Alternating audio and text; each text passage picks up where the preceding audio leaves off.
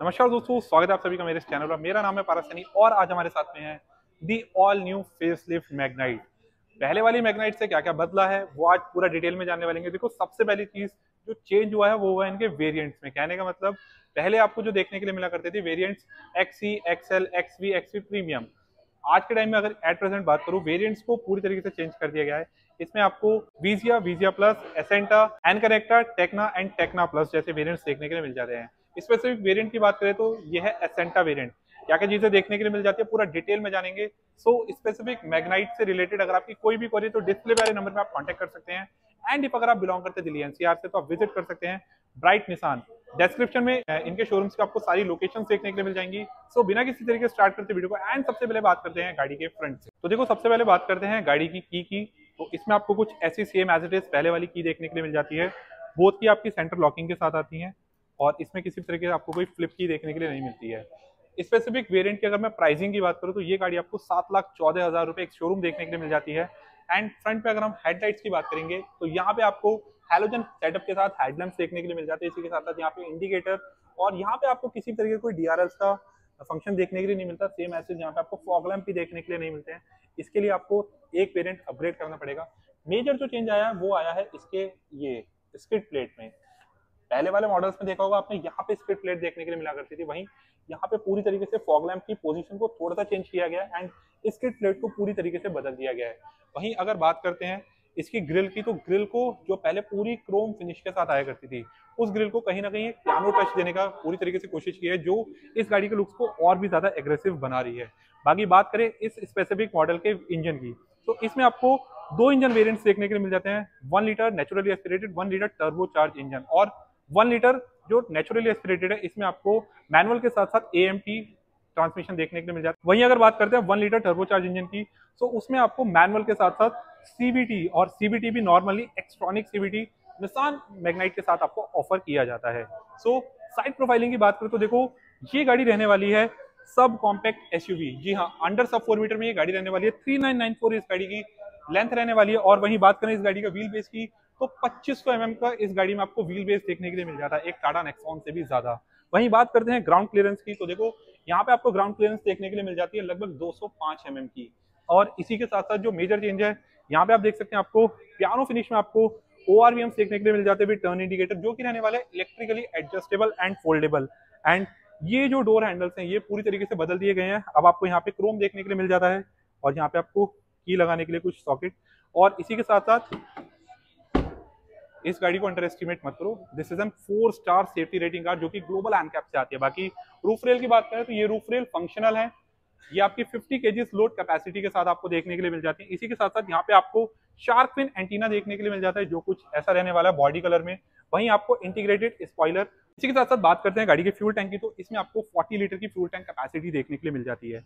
वहीं इस वाले स्पेसिफिक मॉडल की अगर बात करें तो यहाँ पे आपको टेल लैम्प एज यूजुअली जो आपको पहले वाले मॉडल्स में देखने के लिए मिला करती थी फेस लिफ्ट से पहले वाले मॉडल में, वही आपको सेम देखने के लिए मिल जाती है।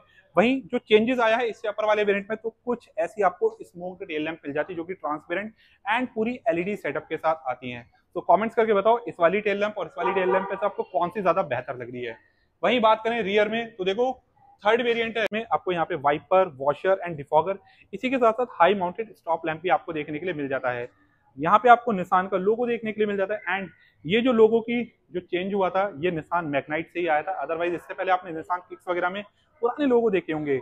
मैग्नाइट की यहाँ पे आपको बैजिंग देखने के लिए मिल जाती है, वहीं इसी के साथ साथ यहाँ पे आपको कैमरा देखने के लिए मिल जाता है। और वन टू थ्री फोर चार पार्किंग सेंसर्स आपको देखने के लिए मिल जाएँगे। एज यूजली आप तेरह से चौदह लाख रुपए की गाड़ी लेंगे ना वहाँ पे भी आपको कहीं ना कहीं एक पार्किंग सेंसर के कॉस्ट कटिंग देखने के लिए मिल जाती है बट ये इतनी ज़्यादा वैल्यू फॉर मनी है और उसके बाद भी यहाँ पे आपको किसी भी तरीके की कॉस्ट कटिंग देखने के लिए नहीं मिलती है।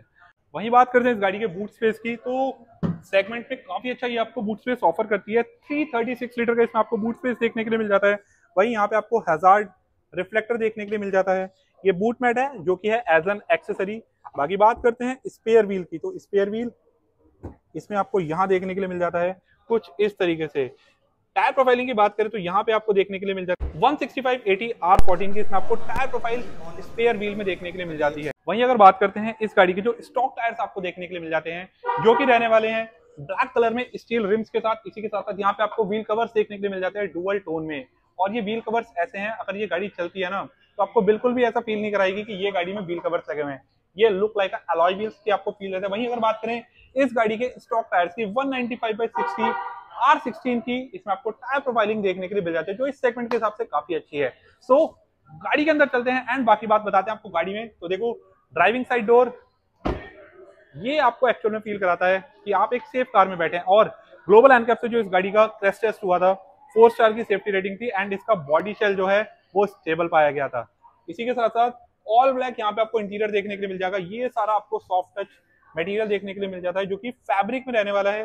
बाकी यहाँ पे आपको one touch open one touch up and down देखने के लिए मिल जाता है। चारों ही power window ORVM electrically adjustable and foldable यहाँ पे आपको देखने के लिए मिल जाते हैं। यहाँ से आप अपने एडजस्ट कर सकते हैं। इसी के साथ साथ रियर विंडो लॉक एंड इसमें आपको देखने के लिए मिल जाते हैं फोर स्पीकर्स यहाँ पे आपको स्पीकर्स देखने के लिए मिल जाते हैं। चारों ही डोर्स में bottle holders and third variant से अगर मैं बात करूँ तो यहाँ पे सबसे अच्छी चीज़ जो देखने के लिए मिलती है ना, वो है इस मॉडल से ही आपको height adjustable manually driving seat देखने के लिए मिल जाती है। सो so, मैं अपनी हाइट के अकॉर्डिंग सीट एडजस्ट कर लेता हूँ। बाकी देखो मैनुअल ट्रांसमिशन है। मैनुअल ट्रांसमिशन है और किसी तरह को लेदर एप स्टेयरिंग व्हील नहीं आता बट फ्लैट बॉटम यहाँ पे आपको स्टेयरिंग व्हील देखने के लिए मिल जाता है। निस्सान का लोगो यहाँ पे आपको स्टेयरिंग माउंटेड ऑडियो कंट्रोल्स देखने के लिए मिल जाते हैं। वहीं बात करें स्टेयरिंग की तो यहाँ पे आपको निशान मैग्नाइट में टिल्ट स्टेयरिंग ऑफ़र किया जाता है टेलीस्कोपिक नहीं किया जाता। सो so, अब इग्निशन ऑन कर लेते हैं। देखो पुश स्टार्ट स्टॉप नहीं मिलता इसमें आपको यहाँ पे इग्निशन देखने के लिए मिल जाता है। कुछ इस तरीके से। तो ये मीटर आपको बिल्कुल भी ऐसा फील नहीं कराएगा कि ये एक एनालॉग मीटर है। यहाँ पे आपको प्रॉपर आरपीएम मीटर देखने के लिए मिल जाता है। बीच में आपको यहाँ पे देखने के लिए मिल जाता है एमआईडी जो कि डिजिटल रहने वाला है। यहाँ पे आपको टेम्परेचर और इसी के साथ साथ यहाँ पे आपको फ्यूल गेज मीटर यहाँ पे आपको देखने के लिए मिल जाता है। वहीं बात करते हैं म्यूज़िक सिस्टम की। सो बहुत लोगों के मन में डाउट होगा कि ये आपका शोरूम से लगवा देते हैं but this is an factory fitted music system जो कि रहने वाला है नाइन इंच का एंड प्रॉपर तरीके से एंड्रॉइड ऑटो एप्पल कारप्ले नहीं आता। This is like an tablet जैसे आप अपना फ़ोन यूज़ करते हैं। उसी की तरह ये वर्क करता है। यहाँ पे आपको देखने के लिए मिल जाते हैं ऑटो एसी कुछ इस तरीके से यहाँ से आप देख सकते हैं। ऐसे कुछ ऑटो एसी मिल जाता है। यहाँ पे आपको फ़ोन रखने का कुछ स्पेस देखने के लिए मिल जाता है। वहीं अगर बात करते हैं रीडिंग लैम्प एक बार ऑन कर लेते हैं। इसी के साथ साथ यहाँ पे आपको 12 वोल्ट का पावर चार्जिंग सॉकेट देखने के लिए मिल जाता है। यहाँ पे आपको फ़ोन रखने के लिए स्पेस और इसी के साथ साथ इस गाड़ी की पहचान जो होती है ना, कि ये नेचुरली एस्पिरेटेड है या टर्बो चार्ज देखो बूट के पास आप टर्बो लिखा हुआ, बाद में देखोगे, ये गेयर बॉक्स बता देता है आपको कि ये नेचुरली एस्पिरेटेड है टर्बो चार्ज देखो, इसमें जो रिवर्स गियर है, वो क्लच दबा के कुछ इस तरीके से, ऐसे उठ के इधर की साइड डलता है। रिवर्स कैमरा आपका यहाँ पे आपको देखने के लिए मिल जाता है, जो कि गाइडलाइंस है। स्टेयरिंग व्हील गाइडलाइंस के साथ आपको एडेप्टिव देखने के लिए नहीं मिलता, ये नॉर्मली ही रहने वाला है। बट गाइडलाइंस इसमें आपको देखने के लिए मिल जाती हैं। कैमरा क्वालिटी की बात करूँ तो डिसेंट इनफ है, जो बैक करने के लिए काफ़ी है। बाकी वहीं अगर आप इसके टर्बो इंजन के साथ जाते हो आपको रिवर्स गेयर कुछ इस तरीके से देखने के लिए मिलता है, जो आपको मारुति की गाड़ियों में देखने के लिए मिलता है। सो रिवर्स गियर आपको वैसे ही देखने के लिए मिलता है। यहाँ पे आपको ग्लास होल्डर देखने के लिए मिल जाता है। और ये ग्लास होल्डर कम, ये बॉटल होल्डर ज़्यादा लग रहे हैं। आप देख सकते हैं कितने ज़्यादा वाइडर रहने वाले हैं। और इसी के साथ साथ यहाँ पे भी आपको कुछ स्टोरेज कैपेसिटी देखने के लिए मिल जाती है। और वहीं बात करें इस गाड़ी के ग्लव बॉक्स की तो आप देख सकते हैं। टेन लीटर्स का ये ग्लव बॉक्स रहने वाला है, जो सेगमेंट के हिसाब से काफ़ी ज़्यादा अच्छा है। और वही एज यूजली आपको एसी वेंट्स लैम्बोर्गनी वाले डिज़ाइन के साथ यहाँ पे आपको देखने के लिए मिल जाते हैं। अब बहुत लोग कहेंगे कि लैम्बोर्गनी अलग है, ये अलग है। देखो यार, कड़वा है मगर सच है, लेकिन लैम्बोर्गनी वाला डिज़ाइन तो है। कौन कौन मेरी बात से सहमत है? कॉमेंट्स करके बताओ। वही, यहाँ पे आपको देखने के लिए मिल जाता है ड्राइविंग साइड सनसेट जो आपको यहाँ पे छोटा सा टिकट होल्डर भी देखने के लिए मिल जाता है। इसको हम यहीं से कर देते हैं बंद। इसी के साथ साथ रीडिंग लैम्प हमारे को यहाँ पे देखने के लिए मिल जाती है। ये आपको माइक और बहुत लोगों के मन में डाउट होता है कि यार ये क्या है एक्चुअल में? तो देखो मैं आपको बता देता हूँ। This is an automatic climate control sensor वहीं अगर आप इसका बेस मॉडल लेते हैं, उसमें मैनुअल एसी आता है, वहाँ पे आपको ये देखने के लिए नहीं मिलेगा। को ड्राइवर साइड बात करें तो यहाँ पे आपको वैनिटी मिरर देखने के लिए मिल जाता है। कुछ इस तरीके से ये देख सकते हैं आप, ऐसा वैनिटी मिरर है। बाकी आईआरवीएम की बात करें तो ये आपको मैनुअली आईआरवीएम देखने के लिए मिल जाता है। जिसकी क्वालिटी ठीक ठाक है डिसेंट इनफ यार। सात लाख चौदह हज़ार रुपए में आपको एक सब कॉम्पैक्ट एसयूवी दे रहे हैं और क्या ही चाहिए आपको। फैब्रिक सीट यहाँ पे आपको देखने के लिए मिल जाती है प्रॉपर तरीके से, जिसकी कुशनिंग काफ़ी ज़्यादा बढ़िया रहने वाली है। अब इसका इग्निशन बंद कर देते हैं हम और मेरी हाइट के according seat at present adjust है।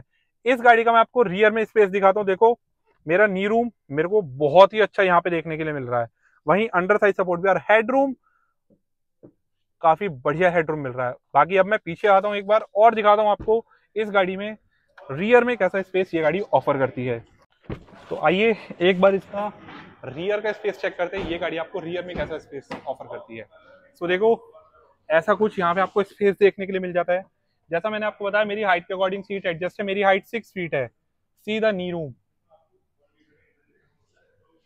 देखो, कड़वा लगेगा, लेकिन सच है। वेन्यू और सोनेट में भी नहीं मिलता ऐसा नी रूम कौन कौन मेरी बात से सहमत है कमेंट्स करके बताना। इसी के साथ साथ यहाँ पे आपको मैगजीन होल्डर देखने के लिए मिल जाता है। कुछ इस तरीके से। बाकी बात करें, यहाँ पे आपको रीडिंग लैम्प रियर में भी देखने के लिए मिल जाती है। और इसी के साथ साथ सबसे अच्छी चीज़ जो मुझे यहाँ पे इस गाड़ी में लगती है जो प्रैक्टिकल है। यहाँ पे आपको दो ग्लास होल्डर के साथ साथ यहाँ पे एक आपको ये फ़ोन होल्डर भी देखने के लिए मिल जाता है, जो इस सेगमेंट की कोई भी गाड़ी आपको ऑफ़र नहीं करती। इसी के साथ साथ रियर के आपको दो हेडरेस्ट आपको एडजस्टेबल देखने के लिए मिल जाते हैं। मिडल वाले पैसेंजर के लिए भी आपको थ्री पॉइंट सीट बेल्ट देखने के लिए मिल जाती है। और इसी के साथ साथ यहाँ अगर थोड़ा सा पीछे आप दिखाएँगे एक बार सो यहाँ पे आपको जो मिस हो गया था यहाँ पे आपको पार्सल ट्रे देखने के लिए नहीं मिलती जो कि एज एन एक्सेसरी आप लगवा सकते हैं। अब गाड़ी का बोनट ओपन करते हैं एंड जानते हैं इस गाड़ी के इंजन के बारे में इस गाड़ी में आपको कौन सा इंजन देखने के लिए मिल जाता है? तो देखो का बोनट ओपन करते हैं एंड जानते हैं इस गाड़ी के इंजन के बारे में। सो so, यहाँ पे आपको वन लीटर का three cylinder naturally aspirated engine देखने के लिए मिल जाता है। इसकी अगर मैं पावर स्पेक्स की बात करूँ तो ये आपको 71 पीएस एंड 96 एनएम तक का टॉर्क जनरेट करके देता है। इस ट्रांस इस इंजन के साथ आपको एक मैनुअल के साथ साथ एएमटी ट्रांसमिशन का भी ऑप्शन देखने के लिए मिल जाता है। वहीं बात करें तो देखो, इतनी कम प्राइस में भी किसी भी तरीके की कॉस्ट कटिंग यहाँ पे आपको देखने के लिए नहीं मिलेगी। यहाँ पे आपको इंसुलेशन का भी पार्ट देखने के लिए मिल जाता है, जो बहुत सारी प्रीमियम गाड़ी में भी आपको मिस मिलेगा। बाकी बोनट को अगर बंद कर देते हैं, इसी के साथ साथ बात करते हैं इस गाड़ी के सेफ्टी फीचर्स की। तो इस गाड़ी में आपको बेस मॉडल से as a standard six air bag आपको सेफ्टी फीचर्स में देखने के लिए मिल जाता है। ABS EBD and traction control जैसे फीचर्स ये गाड़ी आपको बेस मॉडल से स्टैंडर्ड ऑफ़र करती है। तो देखो, यही थी एसेंटा वेरिएंट से जुड़ी इंक्वायरी बाकी वीडियो अच्छी लगी तो वीडियो को लाइक कर देना चैनल को सब्सक्राइब एंड स्पेसिफिक मैग्नाइट से रिलेटेड आपकी कोई भी क्वेरी तो डिस्प्ले वाले नंबर पर आप कॉन्टेक्ट कर सकते हैं। एंड इफ़ अगर आप बिलोंग करते हैं दिल्ली एनसीआर तो आप विज़िट कर सकते हैं। ब्राइट निशान, जिनकी लोकेशन आपको डिस्क्रिप्शन में देखने के लिए मिल जाएँगी। सो यही थी आज की वीडियो वीडियो देखने के लिए बहुत बहुत धन्यवाद। मिलते रहेंगे इस तरीके के इंटरेस्टिंग कॉन्टेंट्स के साथ।